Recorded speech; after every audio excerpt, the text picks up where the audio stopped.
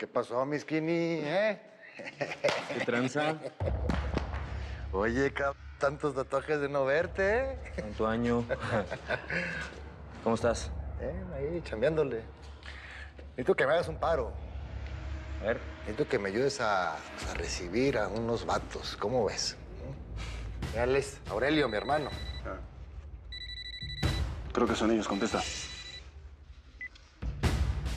¿Qué hubo? Francisco, soy el Chema. Ya estamos en Guatemala. ¿Dónde andas? Andamos acá en Quetzaltenango. Tú dirás. Ah, bueno, pues. Allá nos vemos. Cuando estemos llegando te marco. Vale.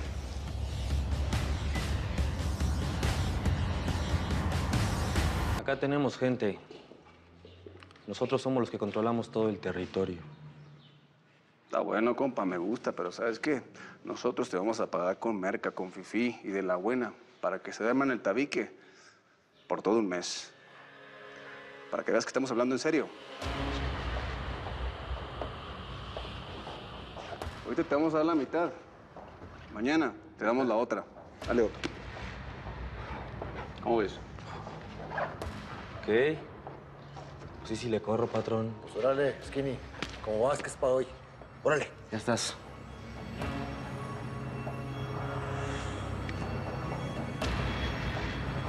Pero, don Aurelio. ¿Cómo va a estar la cosa o qué? Usted me prometió que me iba a poner enfrente al perro ese del Chema, ¿no? Quiero vengar la muerte de mi primo. Yo lo que prometo, lo cumplo. Pero no te me desconcentres, Trino. Primero va lo de Mónica.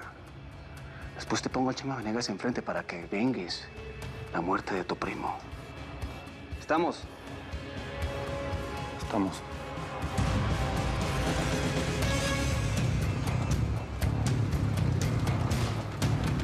Bien, Moniquita.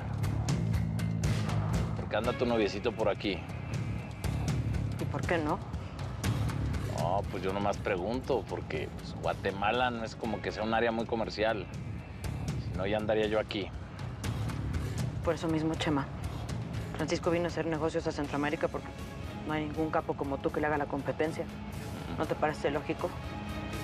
Y lo único que me parece lógico es que si el Aurelio anda detrás de todo esto, lo voy a quebrar.